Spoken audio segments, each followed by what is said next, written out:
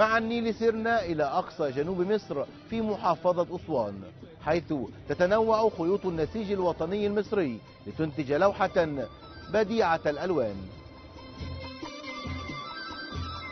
ومن بين تلك الألوان اللون النوبي الذي يزهو به أبنائه في القرى النوبية المحاذية للنيل في أسوان والتي لم تطلها موجة التهجير الأولى ببناء خزان أسوان والثانية ببناء السد العالي.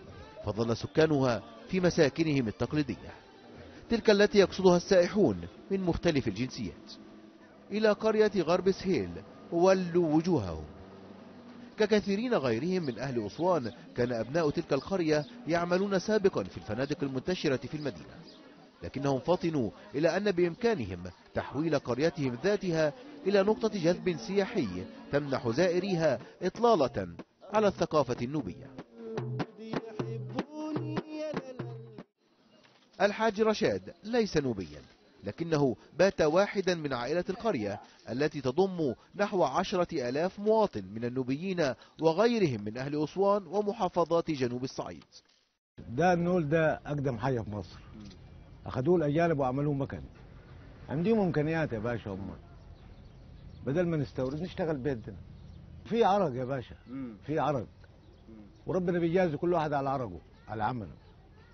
وقرية غرب سهيل أشبه بمشروع سياحي يملكه جميع أبنائها كل بقدر عمله. إحنا بنشتغل في إطار عاداتنا وتقاليدنا. مثلا أنا بعمل شغل يدوي آه، جميع منتجات النوبة عامة والألوان المعروفة.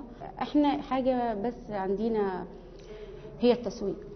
التسويق عامة بالنسبة لنا صعب. ويبتكر أبناء القرية أساليب جديدة لجذب السائحين.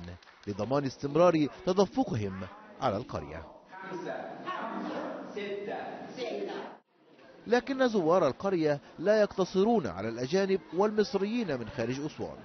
فإليها يتوافد كذلك أبناء المحافظة التي تتميز بامتزاج ألوان مختلفة من النسيج الوطني المصري. سمير عمر سكاي نيوز عربية من قرية غرب سهيل النوبية. أسوان